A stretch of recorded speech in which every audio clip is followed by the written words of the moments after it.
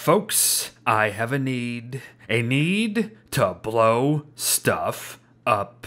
So then, today we'll sit down with the slimy green goo here, and tomorrow we'll upgrade to gunpowder, everyone. Sound good? Sounds good. So let's get to it. And while it is indeed possible to get Slurtle Slime via one additional source, of which we'll talk about later, the bulk of our explosive snot gathering will be done via Slurtles and Snurtles. And where are the majority of Slurtles and Snurtles going to be, you ask? Well, the wilds, everyone.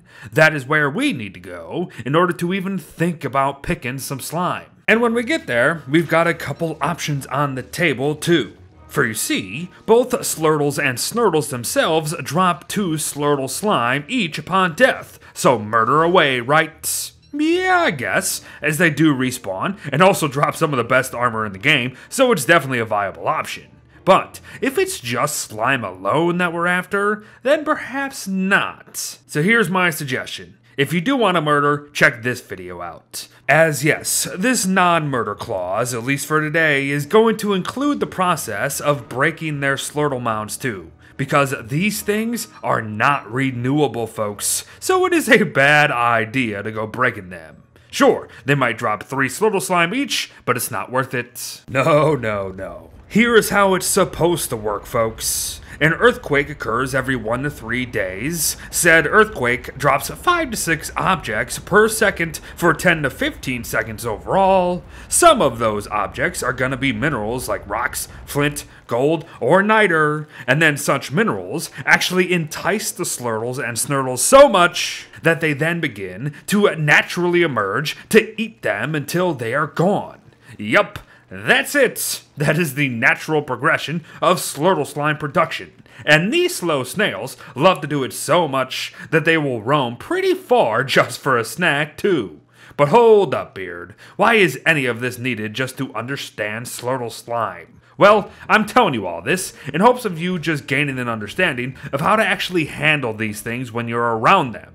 For you see, if no more minerals are on the ground, the slurtles around will actually come at your own inventory as they want to eat whatever minerals you've got. Or better yet, they will bite their way through any other containers or backpacks in the vicinity if there are no other options. Now, this last one could actually be a great way to concentrate the roaming snails for ease of access. But what happens when we actually want slime, but we don't want to wait for an earthquake? Well, it's pretty simple actually, because guess what? We can force the slurtles or snurtles out with fire, folks. Toss whatever minerals you don't mind using for slime on the ground, ignite a mound, wait for a snail to focus on a mineral stack of your choosing, put out the fire, and wait. And well done. You've essentially created one of the only slime farms in this entire game. But how does slime production actually work? In short, maths, and I know that's going to upset some of you,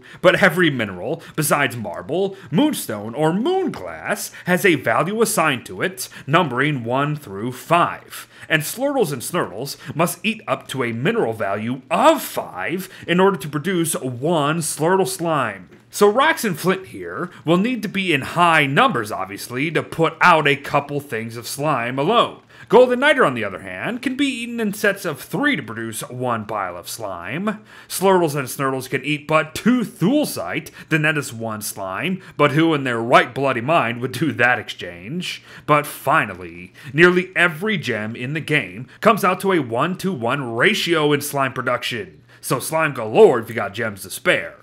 Note though, they will eat entire stacks of minerals at once, so you don't really have to do what I just did here. You can just drop a stack, sit back, and wait. But if something hits them when they're eating, they will drop however many minerals are left in their slimy stomachs. Yes, folks, it's pretty straightforward actually. Not that hard. Good luck and have fun. But now let's talk what Slurtle Slime can actually do for us now that we've got tons of the stuff. Slurtle Slime here can actually be used to refuel lanterns and miner's hats in case you didn't know, folks. However, the green goo isn't exactly super efficient about it, restoring but 9.5% per Slurtle Slime to be exact, which is the lowest around. Still, it's good to know. But really, and I think we kind of all knew this already, Slurtle Slime is just natural gunpowder, folks. Well, except that it's significantly weaker at the end of the day.